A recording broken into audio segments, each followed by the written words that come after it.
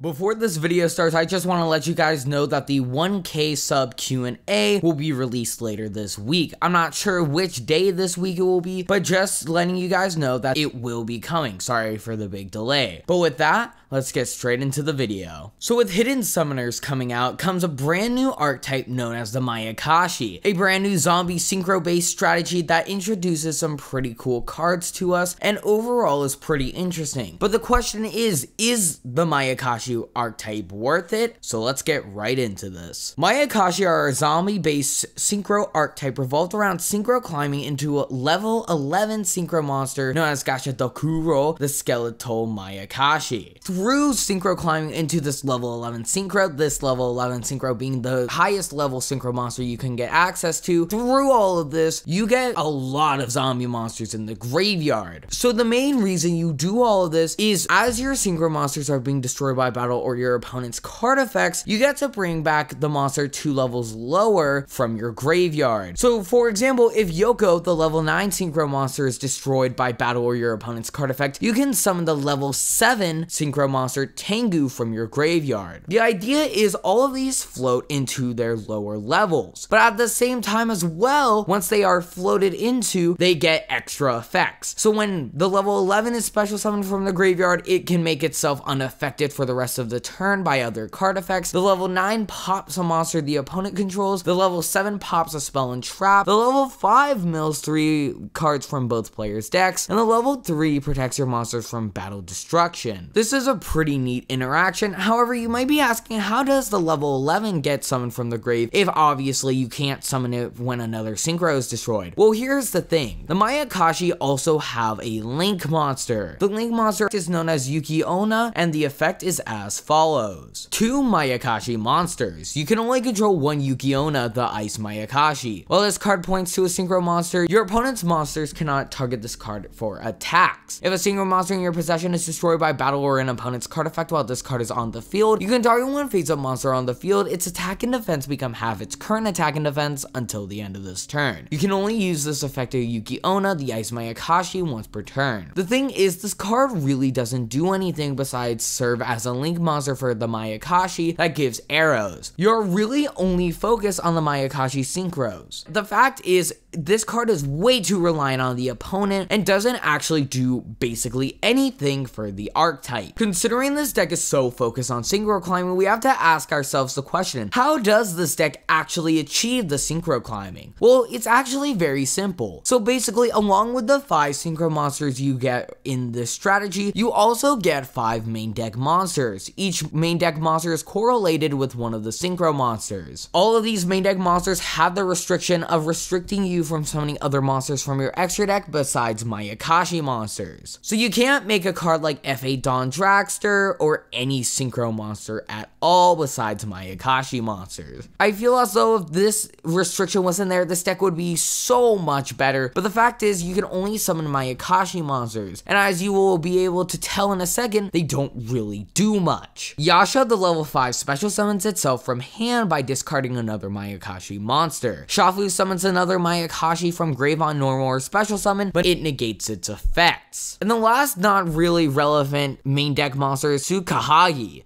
which special summons itself from the graveyard when another synchro monster is destroyed by battle or an opponent's card effect. Overall, all three of these monsters are very mediocre, and while Tsukahagi is run at 1 and Shafu is played at 2, these three aren't really that relevant relevant for the deck's main goal. The two most important Mayakashi monsters, however, are Hajun and Dakki. What's so good about Hajun is it special summons one Mayakashi from your deck. And in this case, it's absolutely amazing. This card becomes the one card level 11 synchro. And if you don't know how this is possible, well, the next monster is Dakki. Dakki is by far the most important Mayakashi in this strategy, as every time a Mayakashi is special summoned, you can also summon Dakki from your graveyard. Now you might be thinking, oh, this is only good with Hajun because you can special summon it once, synchro for the level 3, and then return Dakki from your graveyard to the field to synchro summon for the level 5, and that's it. However, that's just not the case as Dakki is actually not even a once per turn. There is no restriction on Dakki's special summoning effect. This is very important and the real only way you're going to synchro climb in this strategy. Dakki is what brings the speed for this deck and really is the only card that can make this strategy even work. Because Hajun becomes a one card level 11, this can set up literally every single one of your plays. It can also easily summon your Link monster for you and just overall is absolutely amazing. This deck also has a spell and trap for the strategy, and the spell is called Mayakashi Return.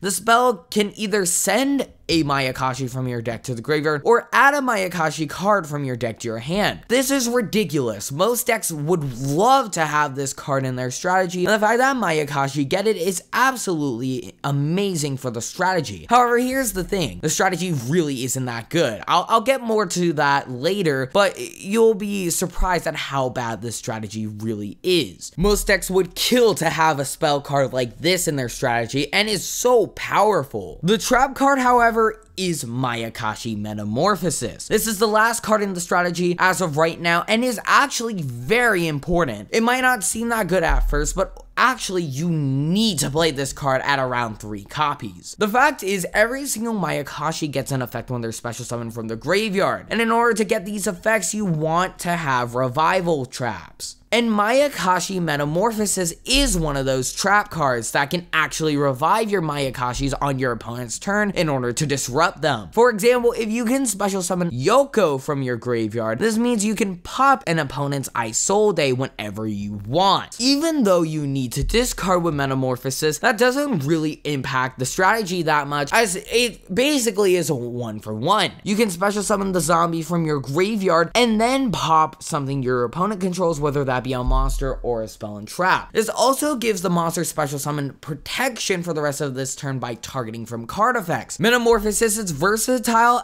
and essential for this strategy. In the end, this deck is actually horrible. I haven't been that hard on it yet, and I explained earlier a little bit as to why this deck is bad, but let me get into that a little bit more. This deck doesn't offer anything with just the synchros. This deck is way too reliant on your opponent's cards. Because think about it, the only way these guys float is when they are destroyed by a battle or your opponent's card effects. If your opponent can easily summon Nightmare Unicorn, literally this card is played in every single extra deck. And the reason why it's played is because it's such good removal. The fact is, if they summon a Nightmare Unicorn, you're actually just screwed. This card is shovels the monster back into the extra deck, stopping your whole versatility. If they go ahead and activate Sky Striker Mecha Widow Anchor and steal your Synchro, well in that case you also lose the floating ability. This deck has so many ways to be outed and overall is not good whatsoever. Well yes, you can summon these cards on your opponent's turn, that doesn't change the fact that by itself,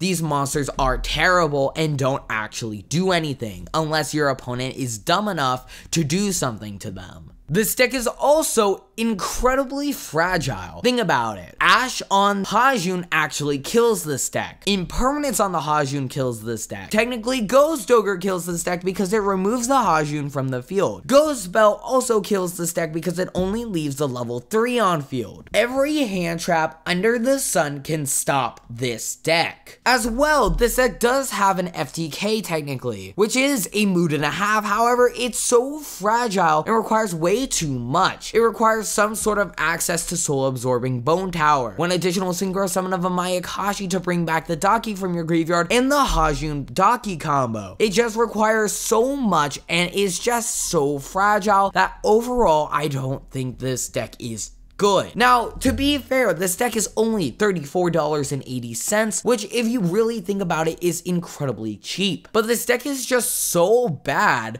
that there is no reason to purchase this with $34.80 over any other strategy that could be way better than this. I can't think of any examples off the top of my head, but trust me, there are better decks than this strategy that are cheaper than the $34.80. Not to mention the Mayakashi cards are probably going to become even cheaper as time goes on. So is this deck worth it? 100% no. Do not pick up this deck. It is a waste of a good $34.80. Thank you guys for watching. I hope you enjoyed. Remember, if you want to support me further than just watching my YouTube videos, then go down into the description and support me through Patreon. As well, if you guys want to talk to me further than just the YouTube comment section, go down into the description and join my Discord server. I'd love to have you guys there. Thank you guys so much for watching this video. I greatly appreciate it. And with that, I'll see you guys next time.